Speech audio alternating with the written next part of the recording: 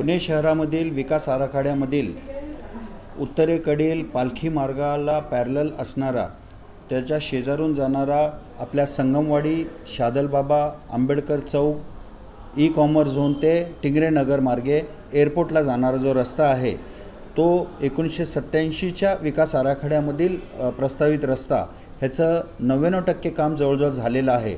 फक्त एक सहाशे मीटरच्या रस्त्याचा जो पॅच आहे जो अग्रसेन शाळेपासून बालग्रामच्या जागेमधनं ई कॉमर्झोनपर्यंत जो जातो तो पॅच ती जागा हस्तांतरित महानगरपालिकेकडं झाली नसल्यामुळं तो आजपर्यंत तो रस्ता रहदारीकरता पूर्ण खुला झालेला नाही आहे त्याचा पाठपुरावा गेले पाच वर्ष सातत्याने या ठिकाणी मी आणि माझ्यावरचे सर्व सहकारी करत आहे.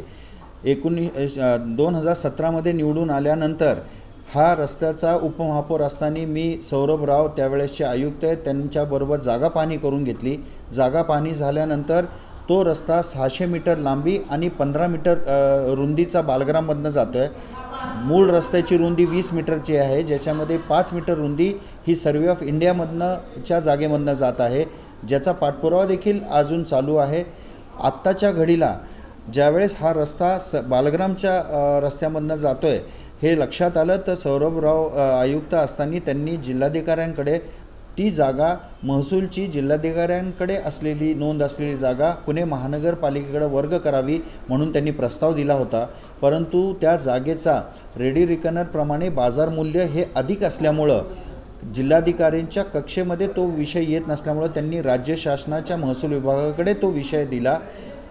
त्यानंतर आत्ताचे विद्यमान आमदार मान्य सुनील टिंगरे याच्याकडे मी पाठपुरावा केला.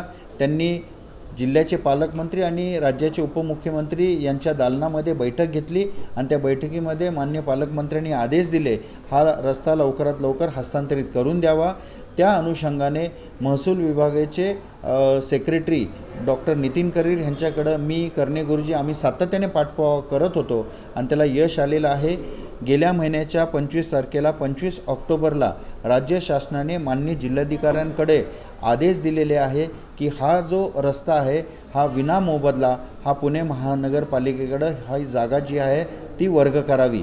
मान्य जिल्हाधिकाऱ्यांना कालच ते आदेश प्राप्त झालेले आहेत आणि पुढील आठवड्याभरामध्ये मान्य जिल्हाधिकाऱ्याकडून ते जागा जी आहे पुणे महानगरपालिकेकडे वर्ग होण्याची प्रक्रिया पूर्ण होईल. या रस्त्याकरिता दोन कोटी रुपये आत्ताचे स्थायी समितीचे अध्यक्ष त्यांनी त्यांच्या अंदाजपत्रकामध्ये ठेवलेले आहेत. वित्त समितीमध्ये मध्ये चर्चा झाल्यानंतर एक कोटी रुपये तात्काळ मंजूर वित्त समितीने दिलेले आहेत. त्याचे इस्टिमेट देखील मान्य झालेले आहेत. टेंडर प्रक्रिया पुढील अर्धा दिवसामध्ये पूर्ण होईल. म्हणजे पुढील महिन्याभरामध्ये या रस्त्याचं काम प्रत्यक्षामध्ये त्या ठिकाणी चालू होईल असं मी आपणा सर्वांना सांगू इच्छितो. मी या नि निमित्ताने पुणे महानगरपालिकेचे महापौर साई समितीचे चेअरमन सभागृह नेते तसेच आमदार सुनील टिंगरे पालकमंत्री व मान्य उपमंत्री अजित दादा पवार या सर्वांचं मी नागरिकांच्या वतीने या ठिकाणी मी धन्यवाद व्यक्त करतो.